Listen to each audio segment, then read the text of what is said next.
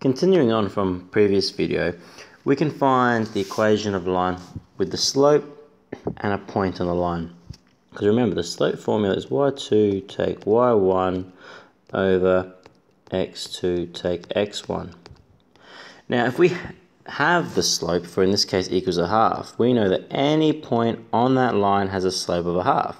So we can do y take 1 over x take 4 equals a half. We then cross multiply.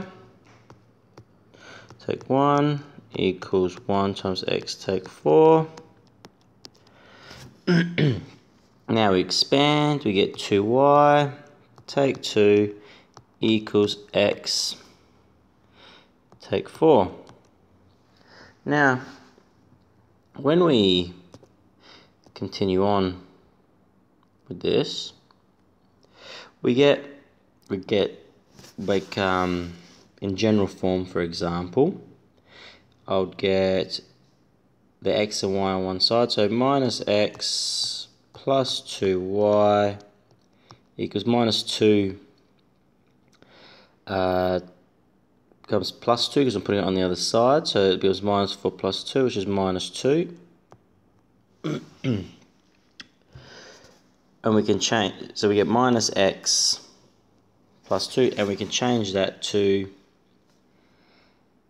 x take 2y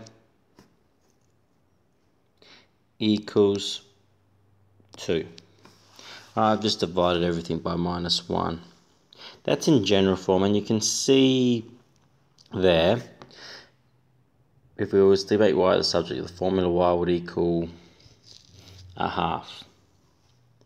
Um, the slope would equal a half because we divide everything by 2. But you can see that's in general form. And we have in the form of ax take by. Now, when we have ax take by or we have ax plus by,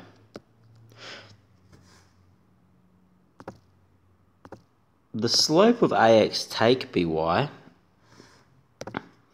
is a over b. The slope of ax plus by is minus a over b. and that's proven in this in this example. We have a slope of a half here. ax minus 2y, which is ax minus by, gives us a slope of a half. And we can find the equation of the line we can do the same thing and we can find the equation of the line using the same coordinate using the ax minus by. Because a in this case is 1, so it's 1x minus 2y equals now, we've got the coordinate for 1.